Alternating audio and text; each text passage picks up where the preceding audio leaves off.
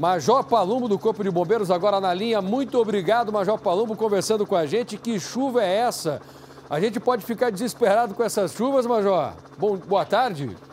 Boa tarde para você, Passaia, meu amigo. Olha, Corpo de Bombeiros, ele atendeu a três quedas de árvores em bairros da Zona Oeste, também ABC.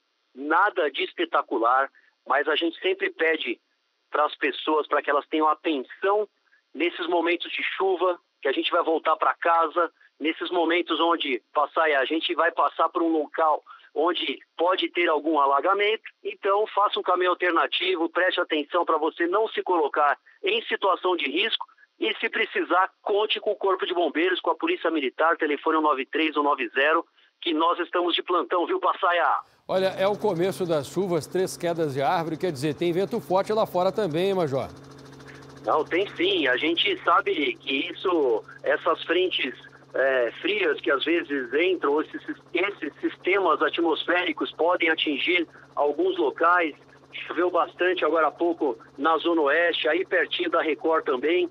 Então a gente sabe que algum, alguns pontos podem é, ser afetados. Por exemplo, uma queda de árvore, talvez ela possa atingir uma fiação elétrica. Então a gente pede atenção a isso, para que você não se coloque em risco e, lógico, contar com a gente sempre, porque é, o, que gente, o que não pode acontecer é a pessoa tentar ir se desvencilhar de alguma situação mais complicada, não conseguir sair.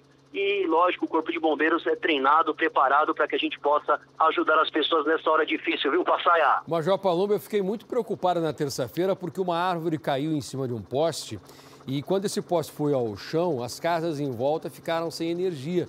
Aí os moradores deduziram, se não tem energia nas casas, obviamente que não tem energia passando por esse poste, então foram lá os moradores arrancando os galhos e tirando a árvore que estava em cima desse poste. É um perigo enorme fazer uma coisa dessa por conta, né, Major? Sim, viu, Passaia? Imagine que se um, uma fiação que ela passe no meio das árvores, ela seja atingida. Às vezes essa fiação ela fica ligada e a gente não sabe, a gente não consegue também descobrir isso no momento da emergência. Só quando as equipes da própria é, Enel cheguem no local, o corpo de bombeiros. Agora, a gente tem que sair de perto desses locais, sair de perto da fiação elétrica, que você não encoste na árvore. Se você estiver dentro do carro, aguarde a chegada das equipes de socorro, porque há sim o risco. E aquela ocorrência foi atendida rapidamente pelas equipes do Corpo de Bombeiros.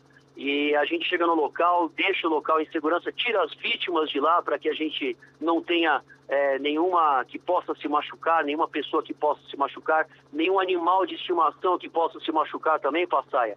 Então fique esse alerta e as pessoas podem sim contar com o Corpo de Bombeiros e com a Polícia Militar nesses dias de chuva.